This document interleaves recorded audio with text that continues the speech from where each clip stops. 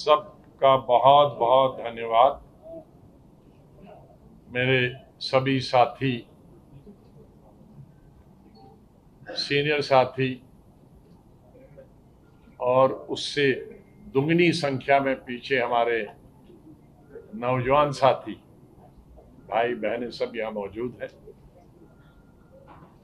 जिनमें deputy CM से लेकर स्पीकर से लेकर मंत्री तक एमएलए तक एमएनसी तक सब मौजूद हैं यहाँ।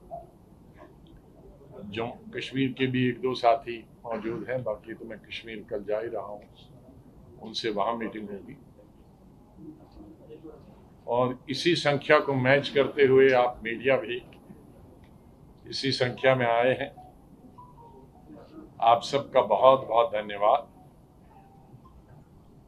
और पिछले दिनों में जब से हमने नई पार्टी की चर्चा की और जम्मू कश्मीर में आए तो चाहे वो स्टेट का मीडिया हो या नेशनल मीडिया हो, उनका सबका मैं आभार प्रकट करता हूँ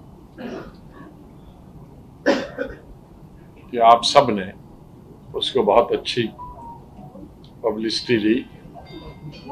और मुझे पूरा विश्वास है कि इलेक्शन तक ये जितनी जितनी गतिविधियाँ हमारी बढ़ती जाएँगी, उतनी उतनी उतना ही आपका सहयोग भी बढ़ता जाएगा। बड़ी बेताबी से हमारे साथी जम्मू कश्मीर के और मीडिया के और पूरी कंट्री के जो हमारे शुभचिंतक या सहयोगी हैं? वो सबसे पहला यही क्वेश्चन करते हैं कि पार्टी का नाम क्या हो? उसका झंडा कैसा हो? पार्टी का नाम रखना बड़ा मुश्किल है। बहुत सारी रिकग्नाइज पार्टियाँ नेशनल और रीजनल है। और विशेष रूप से जम्मू कश्मीर में पार्टी का नाम रखना और भी मुश्किल होता। यहाँ डाइवर्सिटी है हमारी स्टेट में, सौभाग्य की बात है। बड़े दो रीजन हैं और फिर उनके अंदर सब रीजन्स है। जिन सब रीजन्स में अलग अलग भाषाएँ हैं। हमारे कल्चर की अलग अलग रिवायतें हैं। तो सबकी समझ में आए। जम्मू के लोगों की, कश्मीर के लोगों की और जो गाँव देहात में रहते हैं, मजदूर हैं, व्यापारी हैं, पढ़े लिखे लोग हैं,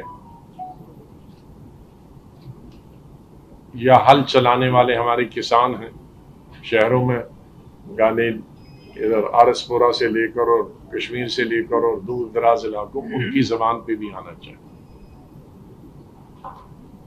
मेरे ख्याल में मेरे पूरे साथियों ने दोस्तों ने पूरे हिंदुस्तान से तकरीबन डेढ़ हज़ार के करीब नाम भेजे।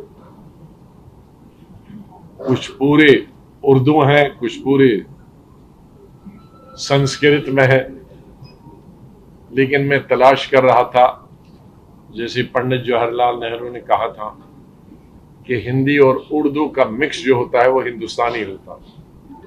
और हिंदुस्तानी वो भाषा है जो हम घर में सब धर्मों के लोग, सब जबानों के लोग बोलते हैं, विशेष रूप से सेंट्रल इंडिया और नॉर्दर्न इंडिया दक्षिण को छोड़कर। तो वो नाम तलाश करने की कोशिश थी, प्रयास थी। और उसके बाद हम इस नतीजे पे आए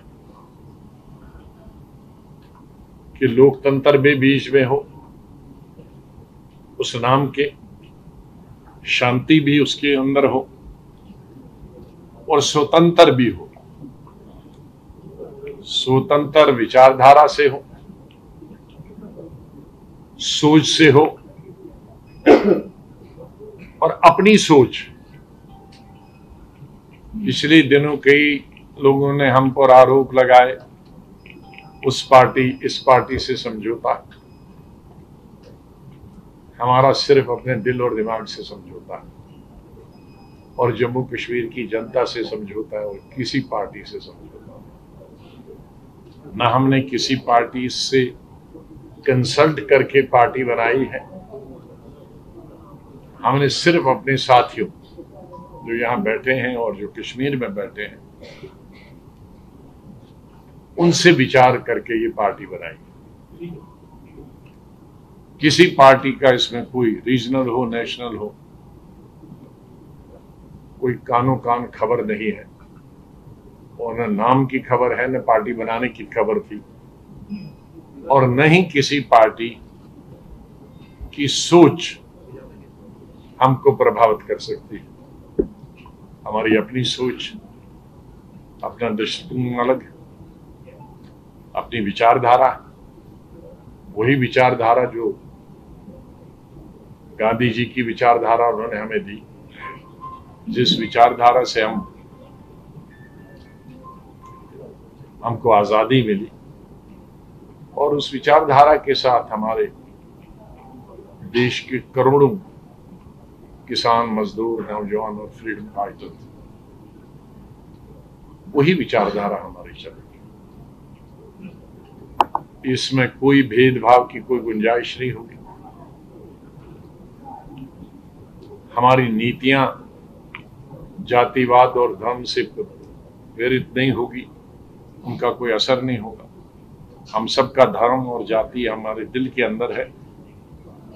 कोई पूजा करेगा, कोई गुरुद्वारे में जाएगा, कोई मंदिर में जाएगा, कोई मस्जिद में जाएगा, कोई चर्च में जाएगा, पूरी आज़ादी है।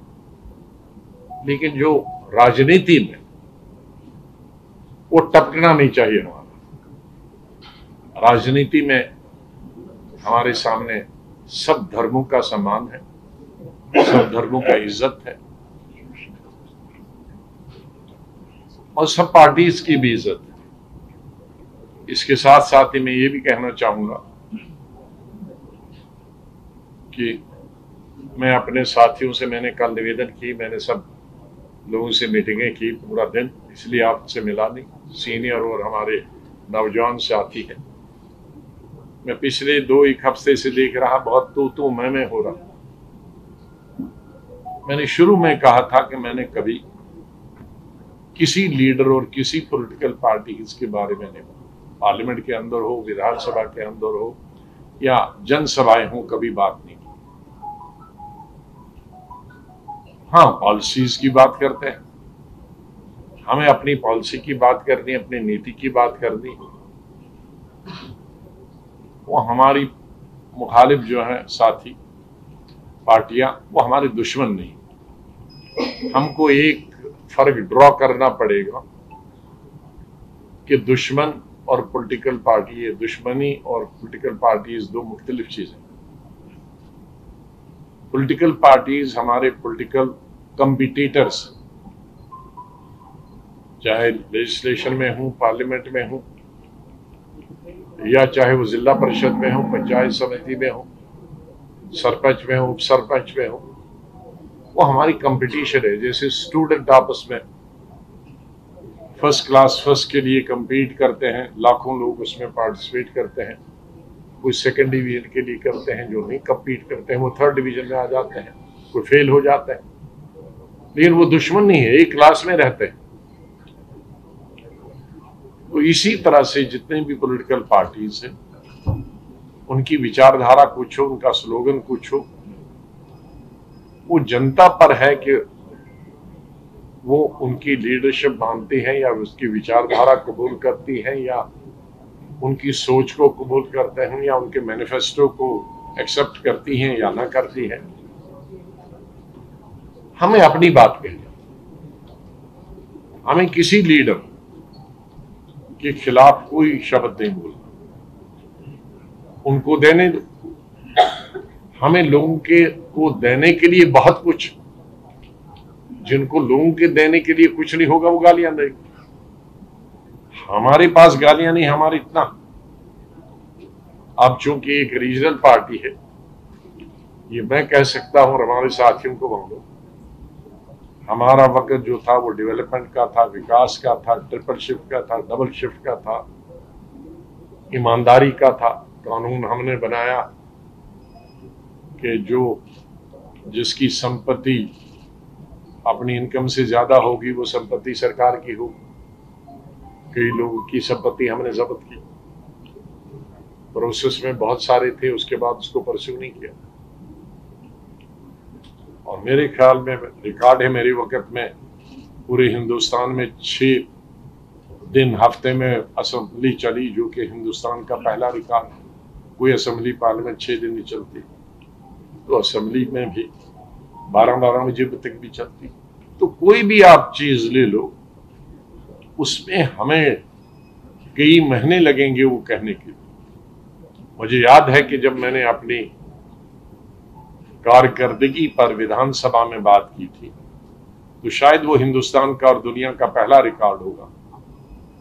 मैं जब अपनी परफॉर्मेंस के ऊपर विधानसभा में किया, जिसमें हज़ार हंड्रेड परसेंट प्रेजेंस थी, विधानसभा में चार घंटे मैंने भाषण किया और दो मिनट की गैप के बाद काउंसिल में पौने चार घंटे के बाद। तो दो घंटे दो मिनट के गैप के अंदर पौने आठ घंटे, ये मेरे ख्याल में हिंदुस्तान का और दुनिया का रिकॉर्ड होगा। असेंबली से आप ले सकते हैं काउंसिल से ले सकते हैं। तो कुछ परफॉर्मेंस ही किया होगा, तभी तो सुनते थे लोग। तो इसलिए मेरे साथियों के पास, वो तमाम कहने के लिए हैं, उन तमाम को हम रिपीट करेंगे। अगर लोगों ने हम पर विश्वास किया, हम पर भरोसा किया, हमारे काम पर भरोसा किया तो हमें गाली देने की क्या ज़रूरत है? हाँ जिन्होंने कुछ काम नहीं किया हो तो गाली देंगे। इसलिए ये मेरे साथियों के लिए है और मैं मीडिया से भी कहूँगा, उस चीज़ को थोड़ा कम हाईलाइट करें। अब हम इक्कीसवीं सदी में रहते हैं कल्चर्ड सोसाइटी है पढ़े लिखे सोसाइटी है, उसमें लोग पसंद नहीं मुझे मालूम है कि आप नाम का बहुत उत्सुक और ये भी मालूम है कि जो ये नाम बताऊँगा आप भाग जाएँगे। नहीं इसलिए नहीं भागेंगे क्योंकि उसके बाद सुनना नहीं चाहेंगे। तो इसलिए मैं जो अपनी बात पहले सुना दू और उसके बाद आखिर में वो बता दू झंडा और फ्लैग। फ्लैग में थोड़ा विलंब हुआ कि हम के संडे था और मुझे नहीं मालूम कि संडे की वजह से इतना बड़ा स्ट्रिक्टली होता है कि कोई दर्जी भी नहीं मिलता। क्योंकि कुछ सोचा तो मैंने दिल्ली में अपने साथियों के साथ था, लेकिन मुझे शेयर अपने यहाँ के स्टेट के साथियों के साथ भी वो शेयर करना था और उसमें कुछ चेंजेस लाई। तो जो मैं दिल्ली से बना के लाया था वो बेकार हो गया, इसलिए और यहाँ दर्जे नहीं मिला। अब किसी को उठा के एक आध पीस में जेब में लाया नहीं आपने ये तो डंडा ये जने का लाया है लगता है। तो, अच्छा चलो बच्चों ने। नहीं नहीं ठीक है। नहीं अभी यही काफ़ी डंडा काफ़ी चलो। ठीक ही लगाया है उल्टा लगाया है। चलो मैं ठीक करूँगा उल्टा भी लगाया उस बच्चे को नहीं मालूम कौन सा डंडी की तरफ़ रखना है और कौन बाहर रखना है। तो मैं अब काम की बात करूँ? हाँ दो तीन चीज़ें और कहना चाहूँ इससे क्योंकि आज फ़सल का मौसम है, काटने का और घास काटने का और कश्मीर में सेब का। तो यहाँ सबसे पहले मैं कहूँगा कि ये निवेदन करूँगा सरकार से कि अब ये जो हमारा दरबार है, जिससे हमारी इकॉनमी चलती थी जम्मू की। जम्मू में अगर देखेंगे, मैं जब चीफ मिनिस्टर था, मैं भी सोचता था दरबार को पैसा बचाऊं। तो मैं जब से मेरे ख्याल में यूथ कांग्रेस के जमाने से जब मैं शहर में जाता हूँ तो रघुनाथ मंदिर जी से यहाँ शहर शुरू होता है। सिटी चौक में वहाँ से जाता हूँ और ऊपर नहीं नहीं, जहाँ महाराजा का पैलेस है, वहाँ से मुबारक मंडी में निकलता हूँ, हमेशा से। तो तब भी मैं सिटी चौक कहीं रघुनाथ मंदिर जी से शुरू हुआ। और चार पाँच घंटे मुझे लगे और दाएँ और बाएँ तरफ़ बड़े हमारे वोट चाहे किसको कौन देता है, उससे मुझे फ़िक्र नहीं, लेकिन हमेशा आओ भगत में वो नंबर वन रहते हैं, जिसके लिए मैं हमेशा उनका आभार प्रकट करता हूँ। अगर मैं फ्रूट जमा करूँगे तो कई ट्रकों में जाएगा, लेकिन मैं खाली चूता हूँ उसको तो उन्होंने कहा कि कभी ऐसा सोचना नहीं, हम तो खत्म हो जाए। क्यों? कहा, जब कश्मीर से आते हैं तो हमारी जो बिक्री होती है, वो सौ गुना, हज़ार गुना ज़्यादा होती तो इसलिए होटल उस पर चलते हैं, टी स्टॉल उस पर चलते हैं, टैक्सियाँ चलती हैं, टांगे चलते हैं, और दुकानदार का जो बिज़नेस है, वो सब उस पर चलता है, जब दरबार। और दरबार मंदी तब हो जाती है, दरबार जब शिफ्ट होता है। तो मेरे ख्याल में जम्मू, ये बहुत अच्छी बात है कि ट्रेन अब माता वैष्णो देवी के लिए वहाँ तक नीचे तक जाती है। उसका बहुत सारे श्रद्धालुओं को, लाखों श्रद्धालुओं श्रद्धालुओं को जो हमारे हैं, माता के जो जाना चाहते हैं, उनको फ़ायदा होता है, लेकिन जम्मू का कारोबार उससे ठप हो गया। उससे हमारी टैक्सी का काम बन गया, जो जाते थे यहाँ आते थे, रात के होटल्स का, टी स्टॉल्स का, दुकानों का। तो उसका एक ही इलाज है कि दरबार में लोग आए ज़्यादा से ज़्यादा। और मैं जम्मू के लोगों से भी अपील करूँगा कि जो बीच में दीवारें बन गई, उन दीवारों को तोड़ना शुरू करें। क्योंकि हम इंटरडिपेंडेंट आज से नहीं, हज़ारों सालों से। जम्मू डिपेंडेंट है कश्मीर पर, कश्मीर डिपेंडेंट है जम्मू। जब स्टेट को डाउनग्रेड और 370 को डाउनग्रेड करने, ये खत्म करने के बाद, मैं यहाँ जम्मू आया और कश्मीर भी गया सुप्रीम कोर्ट की परमिशन लेकर। तो यहाँ ट्रांसपोर्ट खत्म हो गया था। दुकानें खत्म हो गई लेकिन 70 परसेंट हमारी जो इंडस्ट्रीज़ थी कठवा सांबा जम्मू में वो बंद हो गई थी। तो मैंने कहा उनसे क्यों बंद होगी उनमें से 60 परसेंट का सामान सब कश्मीर जाता था। मुझे नहीं मालूम था पहले। मैं सोचता था ये कठवा वाला पंजाब वगैरह जाता। नहीं कहा कि हमारी जो आ, मार्केट है वो कश्मीर है। तो कश्मीर जब बैठ गया, कठवा सामे वाले बैठ गए। तो उसका मतलब है कि हमारे लाखों लोगों को जो एम्प्लॉयमेंट मिलती है कठवा सामा जम्मू में इंडस्ट्रीज़ में, अगर कश्मीर बैठ गया तो ये भी बैठ गया।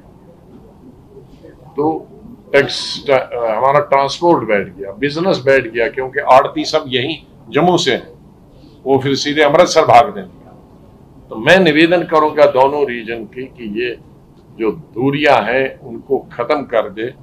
ये आर्टिफिशियल दीवारें जो है, इनको तोड़े और एक दूसरे का स्वागत करें और ताकि कश्मीर को भी फ़ायदा हो जाए। कश्मीर की इस वक्त सबसे बड़ी प्रॉब्लम आ रही है, वो है फ्रूट गोर्स कश्मीर में भी तीन चीज़ों का बहुत नुकसान हुआ पिछले तीन चार सालों से। एक तो टूरिज़्म इंडस्ट्री का, दूसरा हॉर्टिकल्चर का, तीसरा हैंडीक्राफ्ट अब हॉर्टिकल्चर टूरिज़्म अच्छा है कि इस साल अच्छा हुआ समर में। चलो फ़ायदा हुआ। हॉर्टिकल्चर भी इस दफ़ा बम्पर क्रॉप लेकिन बम्पर क्रॉप का फ़ायदा तब होगा कि ये दिल्ली की मंडियों तक पहुँच जाए। जो लोग सेब के बारे में नहीं जानते हैं, जैसे पुरानी मिसाल है कि एक मछली पूरे तालाब को गंदा करती है, अगर वो खराब हुई। इसी तरह, एक पेटी में, एक बक्से में, एक सेब अगर दागी हो, वो दागी कैसे होता है? गिर गया। और रख भरते भरते उसमें गलती से वो एक पेटी में चला गया। तो एक हफ़्ते में सारा भूसा उसका बन जाएगा पूरी पेटी का। तो इसलिए हर पेटी में कोई ना कोई एक सेब तो गलत जाता जो गिर गया होगा और भर दिया, बहुत अच्छा है, लाल पीला है, लोगों ने समझ गया इसके तो पैसे आएँगे, चाहे दाग लिखा है देखो। तो इसलिए अगर सेब की की ट्रक रातों रात दिल्ली न पहुँचे, मंडी न पहुँचे तो आपका वो फ़सल ऊपर वाले ने तो बम्पर दिया, लेकिन हमारी गलती की वजह से वो रुक गया पाँच पाँच रामबन वो बानहा रुक गया। मेरी गवर्नमेंट से और ट्रैफ़िक वालों से गुजारिश होगी। गवर्नर साहब से मैंने कोशिश की तो शायद वो छुट्टी पे है, फिर मैं बात करूँगा, लेकिन ट्रैफ़िक वालों से मेरी गुजारिश है। कि अभी एक महीना। कश्मीर से फ्रूट को जम्मू आने के लिए और पूरी जहाँ जहाँ उसका डेस्टिनेशन हो मंडियों में जाने के लिए, वही प्रियारिटी देनी चाहिए जो हम एंबुलेंस को देते हैं। एंबुलेंस जब चलती है तो सब दाएँ बाएँ हो जाती है। यही प्रायोरिटी दी जाती वरना हमारे बम्पर क्रॉप का कोई फ़ायदा हो। ये मेरा उनसे निवेदन है। तो इस तरह से हमारे जम्मू कश्मीर की ये दो, तीन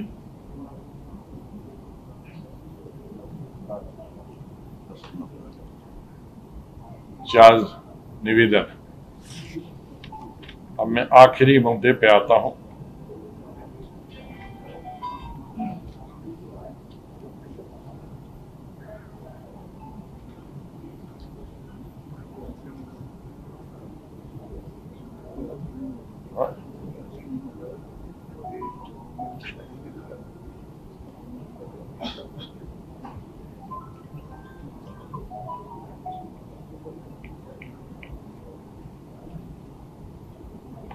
इससे पहले मैं ये बात एक दो चीज़ें और बताऊँ। जम्मू में भी कुछ कंडी इलाकों में ये ज़्यादा बारिश की वजह से और दूर दराज इलाकों में फ़सल बर्बाद हुई, उनका भी कंपेंसेशन होना चाहिए। और नवरात्रि आज से शुरू हुई। मैंने इसका उल्लेख पहले ही कहा है, आज नहीं कहा, लेकिन हफ़्ता भर पहले। कि मैं पहले पहले तेईस तारीख को ये अनाउंस करना चाहता था, फिर देखा कि शराध है। तो हमने सोचा कि नवरात्रि के पहले शुभ अवसर पर हम भी एक नई शुरुआत करें। तो इस अवसर पर जबकि हमने नई पार्टी की शुरुआत की है, इस अवसर पर मैं जम्मू कश्मीर के सभी मेरे भाइयों को और देशवासियों को नवरात्रि की शुभकामनाएँ देता हूँ। और अल्लाह करे, भगवान करे कि हमारे देश में शांति हो। सब प्यार से रहे, अमन से रहे। हमारी स्टेट में भी सब शांति, अमन से रहे। खुशहाली हो, सब खुश रहे। सब धर्मों के लोग, सब जातियों के लोग जहाँ जहाँ भी है। पार्टी का नाम है Democratic Azad party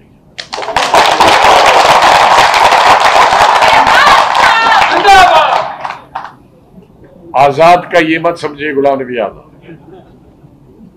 democracy democratic के लिए है। पूरी स्वतंत्र होगी, जिसका मैंने उल्लेख पहले किया कि अपनी सोच होगी। किसी भी पार्टी से, किसी भी लीडर से, किसी भी ग्रुप से प्रभावित नहीं होगी। अपनी सोच होगी। और आज़ाद रहेगी। आज़ाद मीन स्वतंत्र इंडिपेंडेंट और पार्टी डेमोक्रेटिक रहेगी,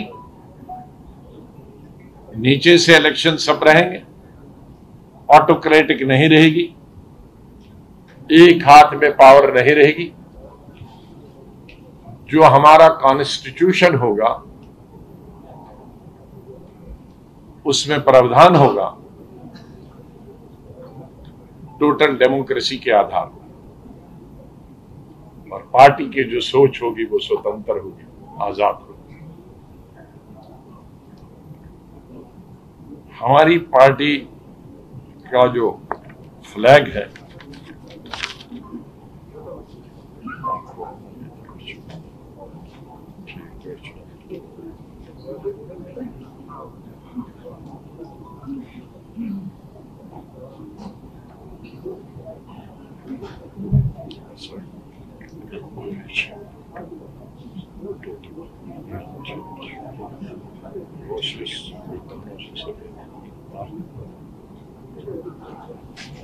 तो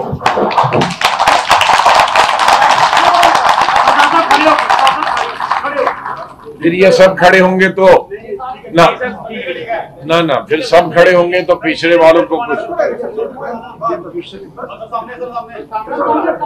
भारत माता की। जय! भारत माता की। जय! भारत माता की। बंद रखो। क्यों?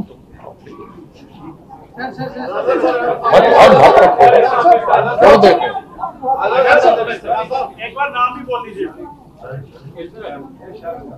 Democratic Azad party.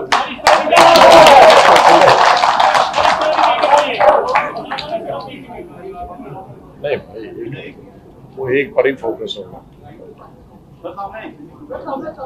हो गया। अब मैं डिफाइन करूँगा तीनों कलर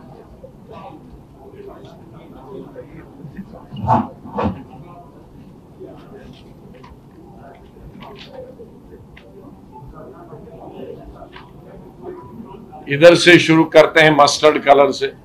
अभी तो फरवरी में भर के आएँगे दिसंबर में ये, जम्मू के और कश्मीर के खेतों में।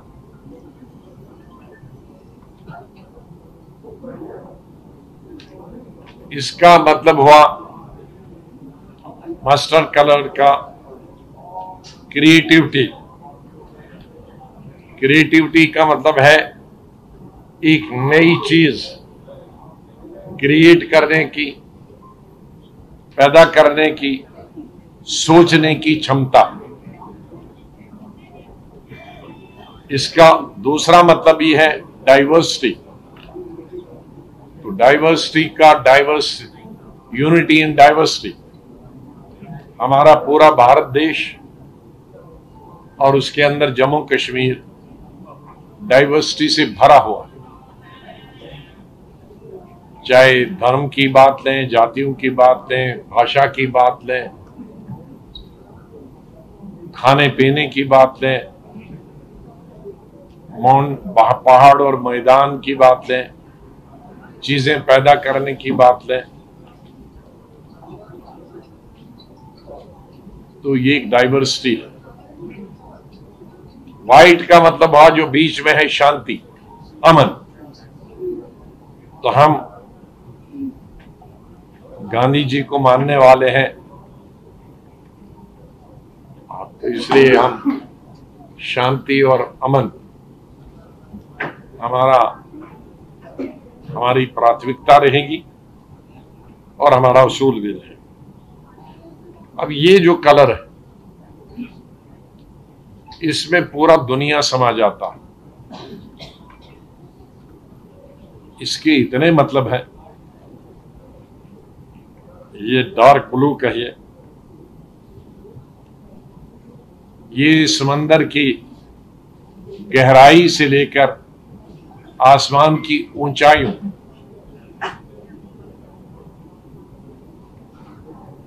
तक इसकी लिमिट। हमारे अंदर दिल में इतनी गहराई होनी चाहिए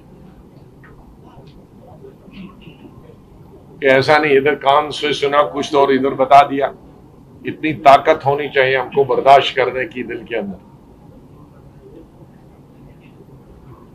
और आसमान जैसे हमारी खुला होना चाहिए दिमाग। सोच बंद नहीं होनी चाहिए।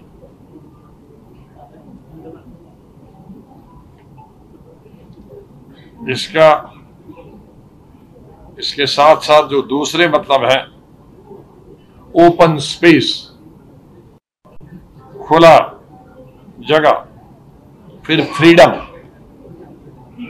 आज़ादी, सोचने की, बोलने की आज़ादी। इंट्यूशन अंतर्ज्ञान। इंट्यूशन भी आनी चाहिए। फिर इमेजिनेशन कल्पना। फिर इंस्पिरेशन होनी चाहिए। इंस्पिरेशन होनी चाहिए प्रेरणा। हमारे जो आइंदा आने वाले मेरी पार्टी में जो लोग होंगे, वो इंस्पिरेशन बनने चाहिए। क्लीन होने चाहिए साफ़ सुथरे होने चाहिए। राजनीति में सेवा की भावना से आने चाहिए, पैसे बनाने की भावना से नहीं आने ताकि उनको देखकर हमारे आने वाले जो बच्चे या बच्चियाँ हैं शहर में देहात, वो इनको इंस्पायर कर सकते हैं। उनसे प्रेरणा मिल सकती गांधी जी को आज कितने साल हो गए, पौना दशक हमसे जुदा हुए। हम लोग उनके, उनकी शक्ल नहीं देखी फ़ोटो पे। लेकिन उनके कार्य से, उनकी सोच से, उनकी विचारधारा से आज भी हम हिंदुस्तान में नहीं, दुनिया के करोड़ों लोग उनसे प्रेरणा लेते हैं। मैं अपने साथियों से कहूँगा कि वो इस तरह से अपनी सोच और ज़िंदगी में ढालें अपने आप को कि आने वाली नस्लों के लिए प्रेरणा। फिर सेंसिटिविटी हिसास, जज्बात, शीलता, ये होनी चाहिए। फिर ब्लू, गहराई होनी चाहिए। भरोसा होना चाहिए। लॉयल्टी एंड सिंसियरिटी होनी चाहिए। वफादारी होनी चाहिए। आज वफादारी जरा पॉलिटिक्स में कम हुई। शाख शाख पे। कौन ज़्यादा जंप लगा सकता। जिसकी कम रेस है तो वो एक एक पेड़ पे, जिसकी ज़्यादा रेस है वो तीन पेड़ों को फलाद के जा इसमें सिंसियरिटी को ज़्यादा प्राथमिकता देंगे, समझदारी को प्राथमिकता देंगे विजडम और कॉन्फिडेंस एतबार को स्टेबिलिटी स्थिरता, ये तमाम चीज़ें होंगी। हमारी पार्टी में हमारी कोशिश रहेगी कि कम से कम 50 परसेंट नौजवानों को और महिलाओं को टिकटें दी जाए मीन। ताकि आने वाले नस्लों के लिए यहाँ कोई एज बार हम नहीं रखेंगे। हर का अपना अपना महत्व। नौजवान और बुज़ुर्ग को एग्जिस्ट करेंगे। जैसा हमारा समाज है, जैसा भगवान ने हमें बनाया है, कोई भगवान उठा के नहीं लेता है एज के मेरे पास पार्लियामेंट में मिसाल है जो नाइन्टीज में भी रहे।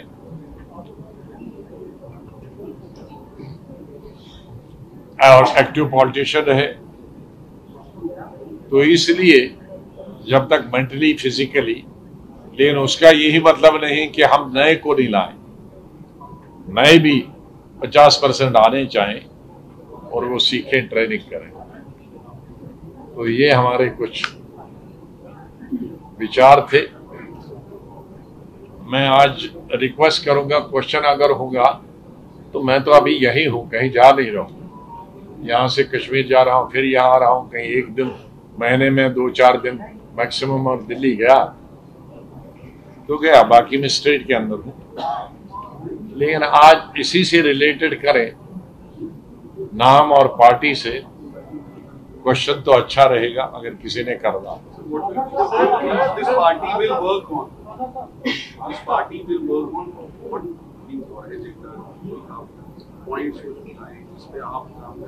का अभी नहीं सबसे प्राथमिकता हमारी ये पार्टी को रजिस्टर करना। लेकिन साथ साथ हम अपनी एक्टिविटीज़ जारी रखेंगे। क्योंकि इलेक्शन कभी भी हो सकता है। इसलिए हमें पार्टी क्या क्या एक्टिविटी करेगी ये तो मैं नहीं बता सकता। पार्टी एक्टिविटी तो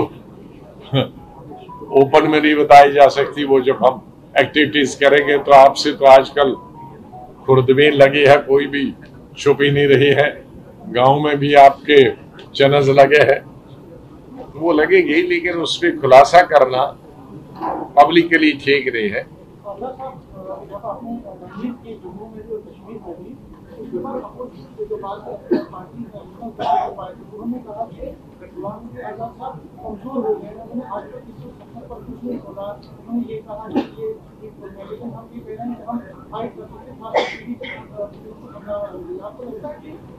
आप पार्लियामेंट का रिकॉर्ड डालें किसने बोला है और किसने नहीं बोला। पार्लियामेंट का तो निकाल, आप निकालिए ना। किसी का नाम से मैं ए बी से निकलू और उसमें निकालिए इन पार्लियामेंट। एक तो मेरा निकालोगे, गुलाम नबी आज़ाद तो उसमें सब दुनिया भर की चीज़ें। एक निकालोगे, गुलाम नबी आज़ाद, इन पार्लियामेंट। तो मेरी सब पार्लियामेंट। तो आप सबकी निकालो। आप विधानसभा की निकालो, आप स्टेटमेंट की निकालो। लेकिन मैं एक ही चीज़ को मैंने बताया कि मैं ऐसे जो इश्यूज़ होते हैं, मैं उनको इलेक्शन के लिए नहीं इस्तेमाल करता। इलेक्शन के लिए हमारे सड़क बनाने का है नौकरी देने का है बेकारी हटाने का, बे- महँगाई, ये इश्यूज़ करता हूँ। मैं किसी को रोकता नहीं हूँ इलेक्शन मैं क्या मुद्दे बनाया? क्योंकि मेरे पास बहुत सारी चीज़ें हैं इसलिए मैं मुद्दा क्यों बनाऊँ? जहाँ तक सुप्रीम कोर्ट ने सुनाई की, दस तारीख के बाद चीफ जस्टिस ने कहा उसका स्वागत। और मैंने ये भी नहीं कहा था कि कभी हो नहीं सकता। मैंने ये बताया हो सकता है, लेकिन मोदी जी से मैं तो नहीं मनवा सकता हूँ कि तुम वापस लो ये तो हो सकता है ना। किसी की अगर ताकत है मोदी जी को मनवाने की, अमित शाह जी को मनवाने की, करा ले। बहुत अच्छी बात वेरी गुड वेलकम लेकिन मैं नहीं, मेरे पास उतनी उनका इन्फ्लुएंस नहीं है कि मैं उनको इन्फ्लुएंस कराऊं। मैं पार्लियामेंट में अपने तमाम पार्टीज़ के साथ इन्फ्लुएंस नहीं करवा पाए तो अब मैं अकेला यहाँ से क्या इन्फ्लुएंस कर पाऊँ? नंबर वन उनके पास उतनी अच्छी दोस्ती है तो करा ले। दूसरा, मैंने कहा पार्लियामेंट कर सकती है। देखो ये, मैं जो बोलता हूँ वो पेपर में नहीं आता है आ सकता है, लेकिन उसके लिए मेजोरिटी चाहिए। तो मैंने उसमें कोट किया कि भाई लोकसभा सबसे बड़ा हाउस है। मोदी साहब, अमित शाह जी की वोटिंग जब कराई तो 86 परसेंट वोट उनको मिले और हम नौ पार्टियों को चौदह चौदह परसेंट मिले। अब छियासी और चौदह का कहा? कोशिश करें, सब पार्टियाँ, मैं भी करूँगा, छियासी परसेंट आए तो हो सकता है। लेकिन छियासी परसेंट या अल्लाह का चिराग नहीं है कि मैंने कह दिया और छियासी परसेंट आएगी। एम आई करेक्ट तो मैंने, सुनो सुनो, ये कर। तीसरा था सुप्रीम कोर्ट। मैंने कहा सुप्रीम कोर्ट कर सकती? लेकिन सुप्रीम कोर्ट में उसमें थोड़ा सा क्रेडिट हमको भी देना चाहिए, क्योंकि हमने बार बार कहा कि सुप्रीम कोर्ट उठाती नहीं है, इसलिए सुप्रीम कोर्ट ने उसको कम से कम अब कंसिडर किया। पब्लिक इशू तो मैंने ही बनाया ना कि वो तीन साल से उसको लेती नहीं है। तो कम से कम मैं अगर गया नहीं सुप्रीम कोर्ट, लेकिन प्रभावित उससे भी मेरे वकीलों ने कहा कि उससे भी हुए कि भाई, ये पब्लिक इशू बना के सुप्रीम कोर्ट इसकी तरफ़ ध्यान ही नहीं देता। तो अच्छा जब भी सुप्रीम कोर्ट करेगा तो वेल एंड लेकिन मैं इसको जम्मू कश्मीर एक और आज नई बात बताना चाहता हूँ। हमारे साथी जरा लीडर लोग उसमें कम ध्यान देते हैं। ये 370 और ज़मीन पे जम्मू कश्मीर के लोगों का ही हक हो और नौकरी पे हक हो। अगर आप किताबें पढ़े तो these have emanated from Maharaja Hari Singh. Maharaja Hari Singh ji ने बाई नोटिफिकेशन उन्नीस सौ सताईस में और दूसरी नोटिफिकेशन 1932 में। पहला उन्नीस सौ सत्ताईस में हेरिटरी हेरिडेटरी स्टेट सब्जेक्ट और बत्तीस में state subject domicile state subject इसको लोग समझते हैं कश्मीरियों ने किया, ये महाराजा साहब ने किया। और मैं उनके दिमाग की दाद देता हूँ, इतना फोरसाइटेड और तब इंडिया यूनाइटेड थी। पंजाब उस वक्त रिचेस्ट था जिसका कैपिटल लाहौर था। लाहौर में मुस्लिम जो आज वो पंजाब है, उधर उस वक्त भी पंजाब के सब मुसलमान बड़े सबसे जमींदार है। आज भी लाहौर वाला इज़ द रिचेस्ट तो मुस्लिम और हिंदू जाट हमारे ज़मीन वाले दोनों अमीर थे।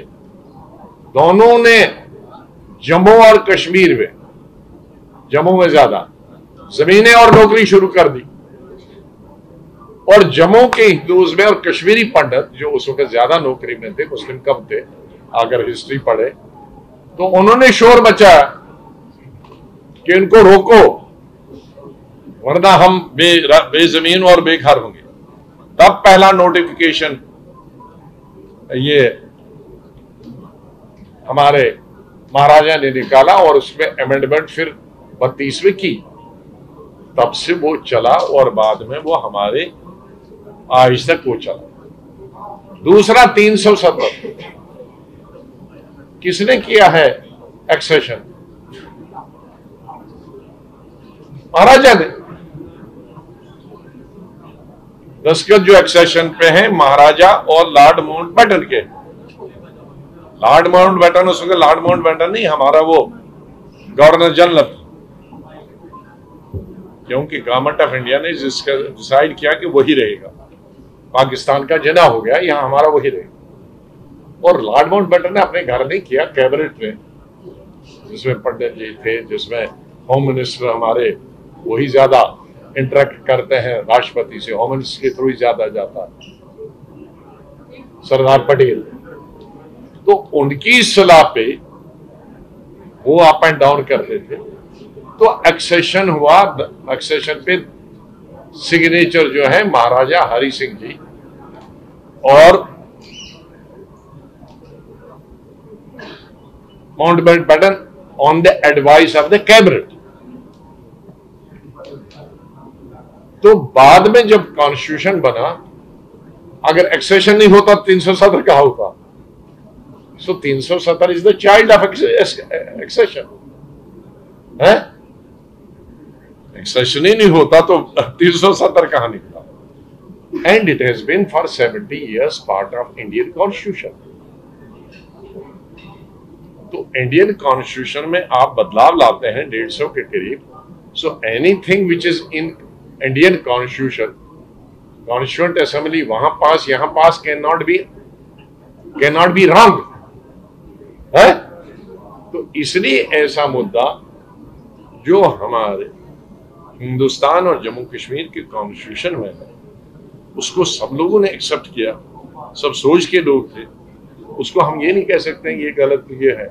और ये भी हमें कश्मीर और जम्मू का वो कश्मीर नहीं है। ये तो हमारे महाराजा ने तीनों चीज़ें की है। Of that also why should ये मेक में जम्मू इशू वर्सेस कश्मीर? बस आपके हो गए। I have answered you more than you is, you have enough to achieve. Navratri के बीच नवरात्रि के बीच आपने अपनी पार्टी स्टार्ट की। लेकिन आज ही के दिन जो आपकी पुरानी पार्टी है उधर एक बार फिर से अपराइजिंग राजस्थान में दिख रहा है। The party seems to be कम उस पर क्या कहना चाहिए ਜਿਹੜਾ ਗ੍ਰਾਂ ਛੱਡਿਆ ਉਸ ਦਾ ਨਾਂ ਨਹੀਂ ਲੈਣਾ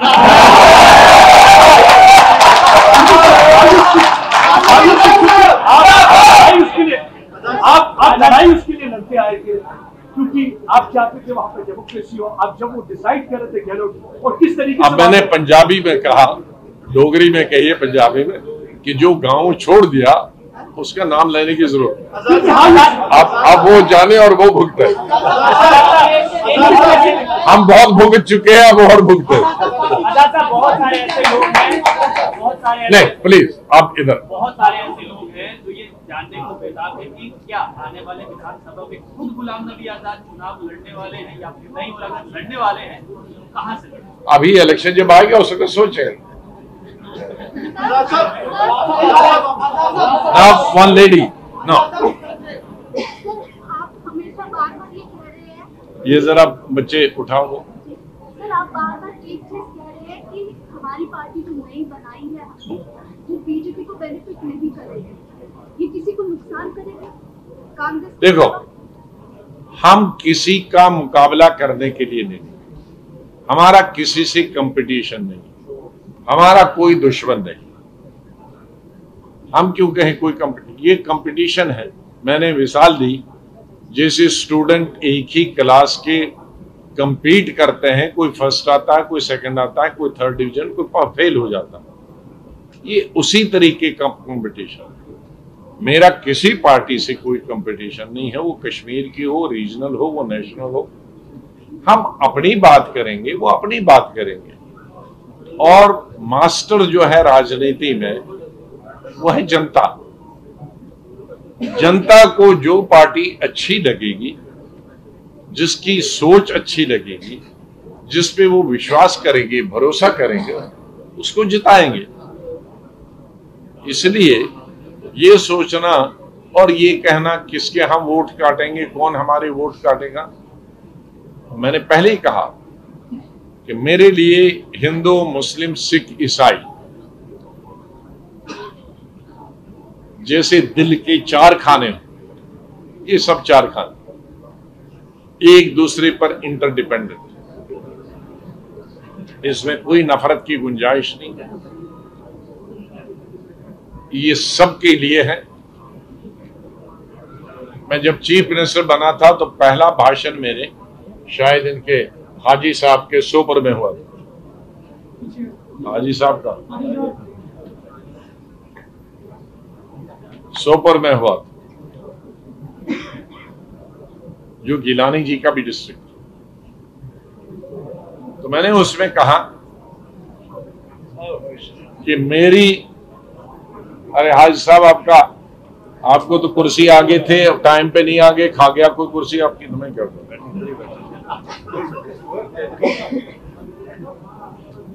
तो हाजी साहब हमारे दो टर्म एमएलए हैं।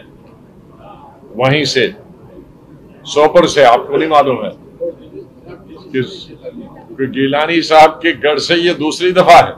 पहली दफ़ा तब जीते थे 2002 में जब मैं पीसीसी प्रेसिडेंट था। तो वहाँ मैंने तकरीर की थी इनकी कॉन्स्टिट्यूंसी वैली की पहली। कि मेरी गवर्नमेंट जो होगी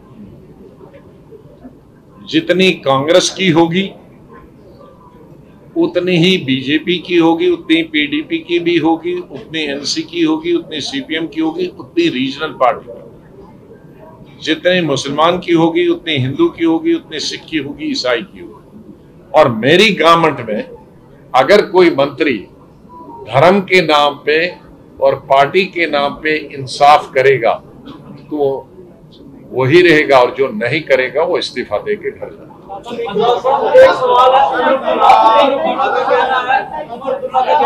आने वाले समय में जो इलेक्शन है वो सेंटिमेंट बेस पे होगी बीजेपी सेंटिमेंट पे चलती है Democratic Azad Party sentiment base पे चलेगी या डेवलपमेंट बेस पे डेवलपमेंट बेस अपनी हर स्पीच पे महात्मा गांधी नेहरू इंदिरा गांधी का ज़िक्र आप करते रहे हैं। और आप एक कांग्रेस में एक लंबी विचारधारा एक राजनीतिक रहे हैं और आपके साथी जो हैं आज भी वो कांग्रेस के ही जो आपके साथ जुड़े हुए हैं। तो जो आपकी जो डेमोक्रेटिक आज़ाद पार्टी रहेगी क्या उसकी विचारधारा भी कांग्रेस के वाली ही पुराने जो आप इंदिरा गांधी या नेहरू के साथ जो विचारधारा रही थी ये ये कहना गलत होगा कि कांग्रेस की ही वो विचारधारा बहुत सारे पार्टीज़ की वो भी वही विचारधारा है।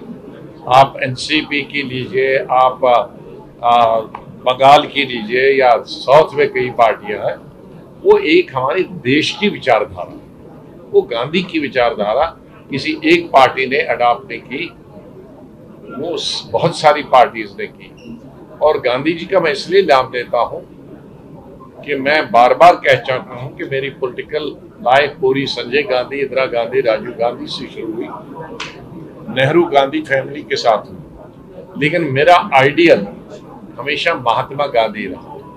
उसका कारण है कि 69 में जब गांधी जी की शताब्दी मनाई जा रही थी नार्दर्न इंडिया में 15 दिन का जो शिविर था, वो कश्मीर में था। और मैं उस वक्त एसपी कॉलेज का स्टूडेंट था। कॉलेज का स्टूडेंट। तो दो ही लड़के देश भर से नार्दर्न इंडिया के सब गांधीवादी आए थे और वो क्यों नार्दर्न इंडिया का सेलिब्रेशन क्यों दिल्ली, कश्मीर में रखा था? क्योंकि 47 में जब धर्म के आधार पर देश का बंटवारा हुआ तो बहुत दंगे फसाद हुए, दुर्भाग्य से जम्मू में भी हुए। लेकिन कश्मीर में किसी मुसलमान ने कश्मीरी पंडित को थप्पड़ भी नहीं मारा। ये इतिहास है। हिंदुस्तान भर में और जो आज पाकिस्तान है, वहाँ भी दंगे हुए। तो तब गांधी जी ने कहा कि पूरा देश में मुझे अंधेरा नज़र आता है सब कॉन्टिनेंट सिर्फ़ रोशनी की किरण मुझे कश्मीर से नज़र है। ये आपको मालूम होना चाहिए, पढ़ना चाहिए, नहीं। सुनो, अरे सुनो। तो इसलिए उस शिविर में पंद्रह दिन रहा तो गांधी की विचारधारा से प्रभावित हुआ। कांग्रेस वगैरह की तो बात की बात है। इसलिए वो आज तक मेरा वो सोच, विचारधारा सेम रही। और गांधी जी को आज बीजेपी भी मानता है। तो गांधी जी से common factor left right and centre